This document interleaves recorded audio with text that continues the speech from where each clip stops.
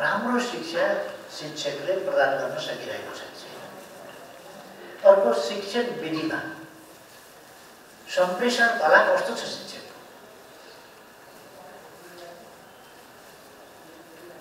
सम्प्रेषण कला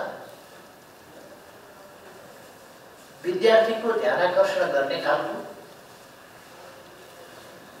विद्यार्थीले बुझ्ने खालको विद्यार्थी आकर्षित हुने खालको विद्यार्थीको रुचि जान्ने खालको सम्प्रेषण कि छैन हामीले शिक्षकहरूको सम्प्रेषण कला शिक्षण विधि शिक्षण पद्धति।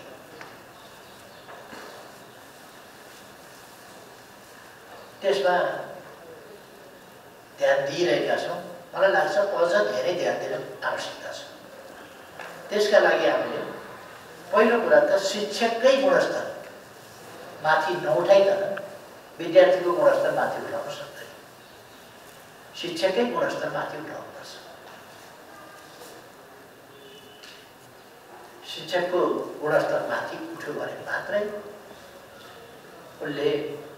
आफूमा रहेको ज्ञान सही ढङ्गले हस्तान्तरण गर्न सक्छ। त्यो हस्तान्तरण गर्दा उसले कुन लेभलमा कुन कक्षामा उसले पढाउँदैछ?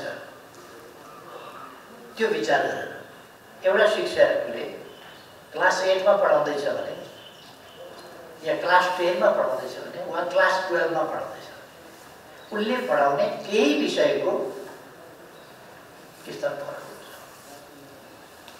त्यो भिन्नतालाई ध्यानमा राखेर उसले कसरी स्किलफुल ढङ्गले त्यस लेभलको त्यस लेभलको व्यवहार कसरी गर्न सक्छ त्यस लेभलको विद्यार्थीको रुचि र आकर्षण उसले कसरी पार्न सक्छ ती कुराहरूमा हामीले हाम्रा शिक्षाको गुणस्तरका लागि शिक्षकको गुणस्तर माथि हुनुपर्छ भन्ने कुरालाई ध्यान दिन जरुरी छ र जबसम्म शिक्षकको गुणस्तर हामी जतिसुकै हामी पूर्वाधार तयार गर्छौँ राम्रा कक्षा शौचालय पनि राम्रा बनायो। Boys and girls ladies and gents toilets सब पनि ठिक छ अरू सबै कुरा पनि ठिक छ चेन्जिङ रुम पनि ठिक बनायो हामीले तर गर्नुपर्ने काम चाहिँ छुट्यो भने त्यसले शिक्षाको गुणस्तर हामी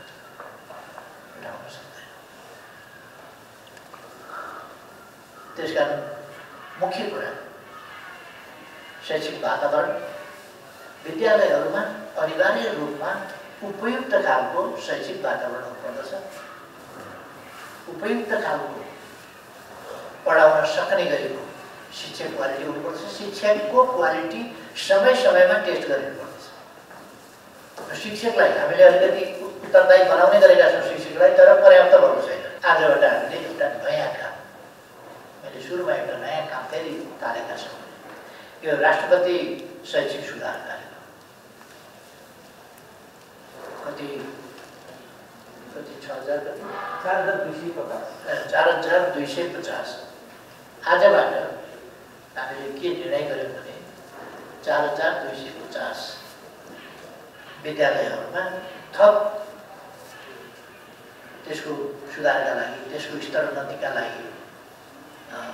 कार्यक्रमहरू सञ्चालन गर्दैछौँ त्यसका लागि बजेट छ अरब पाँच अरब पाँच अरब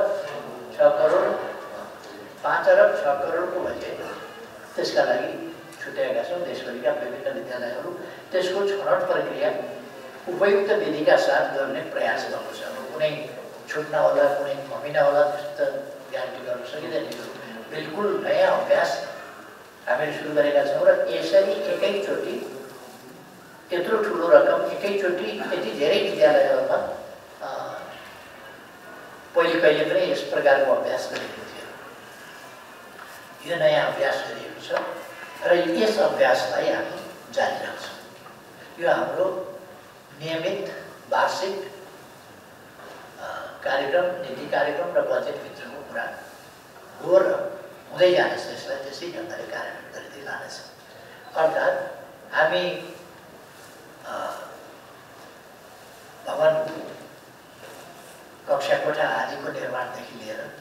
अरू विभिन्न प्रकारका सुविधाहरू विकास गर्ने काममा यस रकमलाई विभिन्न शीर्षकमा अघि नै भनिसक्नुभयो डाइरेक्टरजीले विभिन्न शीर्ष शीर्षकहरूमा हामीले यी कार्यक्रमहरू अगाडि Thank you.